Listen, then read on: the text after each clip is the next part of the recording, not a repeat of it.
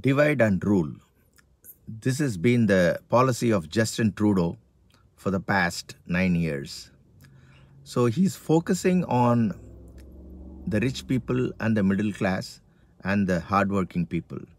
So these are the main contributors of the welfare of Canada or for any other country for that sake. So he wants all the rich people to become a middle class and all the middle class to be to become poor. And eventually uh, in due time even the rich people will be poor. By making all canadians poor he can dictate and conquer canada and canadians. This is his motto and i'm going to give you a very good example of how is he is manipulating Canada with this uh, um, demonic and satanic ideas. I am very sure that these ideas are, you know, properly planned and executed by a group of people. Probably he's hiring someone for getting ideas like this in the background and um, those people are the real smart people. They really know how to manipulate um, we can literally call them scammers or you know hackers. So these people they are like very dangerous. They are like predator uh, predators. They have a, um, a kind of mind where you know you cannot predict what type of people they are. So looks like he is already hiring those people and you know cherry picking. Um, there are everyone right. There are engineers, hardware engineers, you know, technical guys and auditors, and um, there are people exclusively to give ideas like this to the politicians. So when Trudeau comes out with this plan, right, renters and landlords, bill of rights for renters. So he's literally gaslighting both renters and landlords. So I'm going to give you a very small example of how he is manipulating the renters and the landlords. This is a story about uh, two cats fighting for cheese and a monkey as a mediator. Uh, some of you might have heard of this story the two cats are fighting for one block of cheese. The monkey sees this and, you know, comes and talks to the two cats and says, Hey, uh, guys, why do you fight for one big cheese? You know, I am here to mediate. Don't fight for uh, the cheese. I'll make sure that both get a equal half of the cheese so that both of you can be happy. And then the monkey slices the cheese, one block of cheese, one small, another one bigger. Then monkey says, oh my God, one size is bigger. Let me eat a little bit and make this equal. And then starts eating little by little, both the pieces until all both the pieces or it's just gone into the monkey's stomach, right? And the cats are like you know they are totally shocked and uh, disappointed. And uh, they are like you know they lost everything right? Uh, there's no cheese for the cats. And uh, the monkey says oh i tried my best but i can't help it. You know this is how it works and this is how the world works. And this is a very good example I'm comparing the monkey with Justin Trudeau and the two cats as renters and landlords here. But, you know, generally I would say one cat will be considered as all the Canadians and the monkey is, you know, compared to Justin Trudeau. So that's what is happening right now in Canada. So let me explain how renters and landlords are fighting each other, thinking that there are all the tenants or you know the renters are bad. Renters uh, while the uh, you know the tenants are thinking all the landlords are bad landlords. So you know i will give you a simple example. For the past 25 years i've been a tenant and i've been a renter. And um, in my experience you know i have moved uh, to so many uh, places like more than 16 um, uh, you know homes. So in my experience i just came across just two or three maybe three landlords. I wouldn't say that they are bad landlords but one of them was really bad. My last landlord i lived she was really bad. You know she almost tried to take off uh, take the deposit because you know I just moved from another country and I asked for the deposit and he said he cannot give the deposit and then I threatened him. I told him this is not the right way. If you are not doing it I'll make sure that police will take action on him if the deposit deposit is not returned full. So I don't know. The guy just returned all the money after like 3 months. So let's keep this in mind. United we stand divided we fall.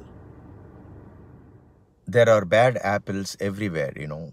Sometimes there is a good um, you know renter and a bad landlord and sometimes the bad landlord you know faces a good renter you know. It's uh, vice versa. It all depends on you know the situation.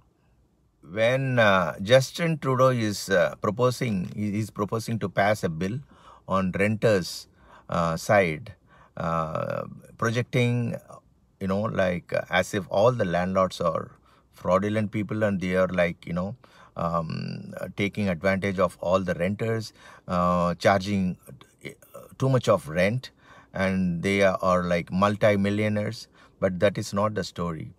As a landlord when he goes for a mortgage to a bank to purchase a house the first thing the mortgage uh, bank people uh, ask is um, is your house uh, or um, you know like a condo or an apartment does it have any extra basement where it can be considered as a uh, helper mortgage helper?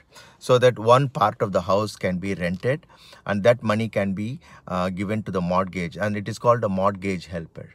So bank itself here in canada encourages um, buyers to have a mortgage helper like a basement or a first floor or a second floor where they can rent to tenants and with that money they can uh, you know take care of the mortgage uh, so when la landlord buys that property and lend lend or uh, rents the uh, basement for the tenants you know what the tenants ask most of the tenants think oh if you are not capable of buying a house without a mortgage helper, why the hell do you buy a house? And, you know, like you're putting the burden on the tenants. This is what, you know, the tenants ask. But that is not the thing, you know. 90% of the Canadians go for a basement uh, mortgage helper.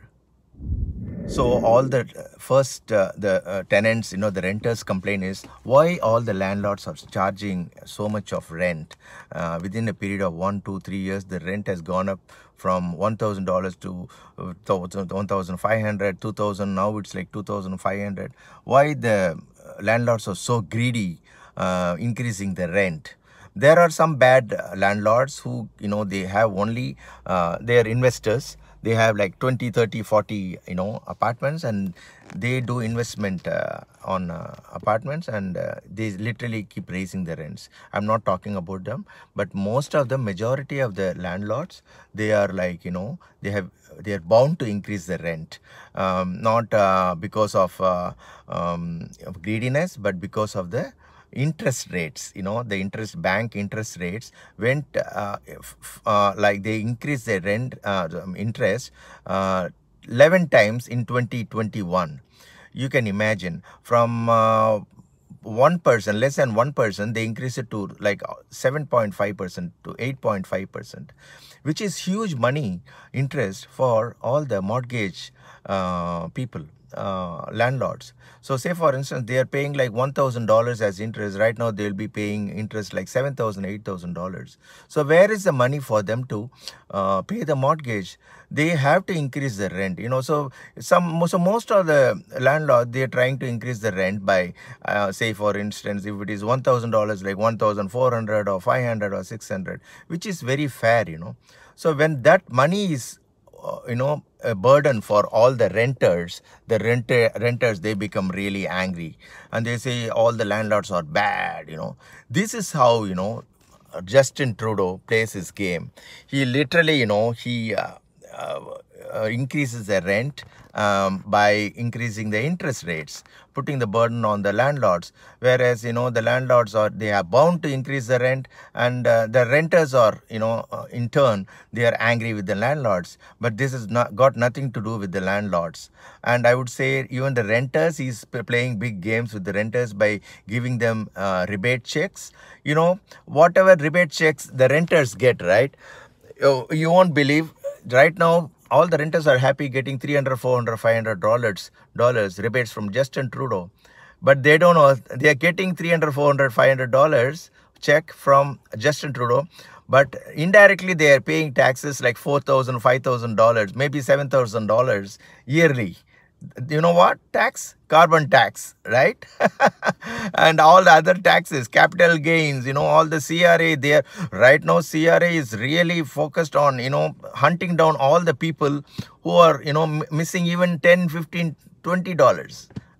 Can you imagine? So it's literally cra is going after everyone. Doesn't matter it's not only rich people. Every even a common man right? They are seeing any loopholes so this is called Trudeauism. So there is a new word in the Webster's dictionary.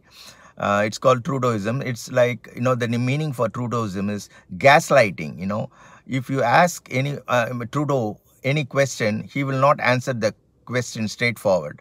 He will just beat about the bush. He will say, oh, you did that and you didn't uh, properly react for that uh, situation. And uh, this has been going on really bad. And I uh, took really good, uh, uh, you know, measures to counter this. And you have been, you know, if you if someone ask him why this carbon tax or why this decriminalization law in British Columbia, he will say, oh, um, the, you should not have supported the white supremacist um, you know um, that is the reason why uh, you know you're uh, um, considered as a um, you know anti-canadian and this is what he reacts.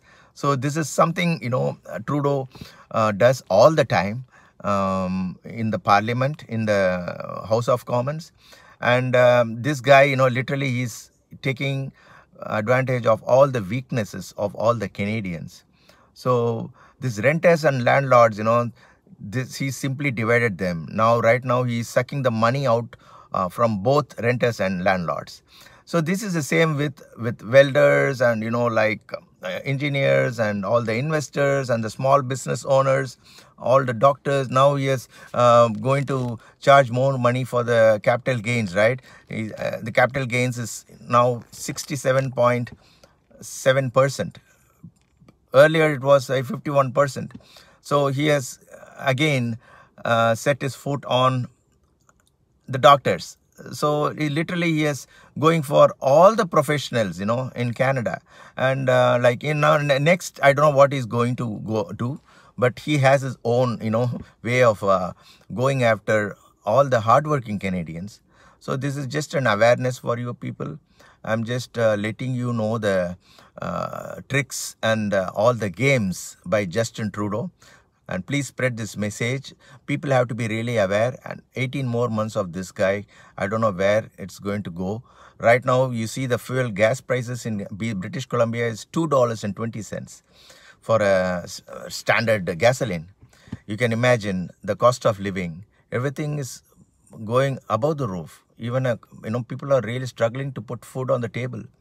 This is a very important concern. Um, this uh, suicide you know rate is going up and uh, the drugs you know death in british columbia is uh, like 6 per day. You can and imagine 2500 people die every year in british columbia because of this new uh, de- decriminalization uh, law passed by uh, Justin Trudeau and NDP government. And uh, this is uh, not good for British Columbia and Canada.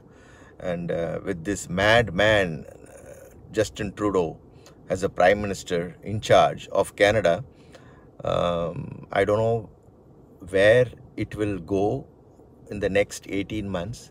All we can do is just pray to the Lord, whichever Lord, Jesus Christ, or you know, um, Muhammad, uh, Allah, or the Hindu gods, or all the other religions. Uh, people just pray that this guy should get out of Canada ASAP. It's really going to be good for the Canadians.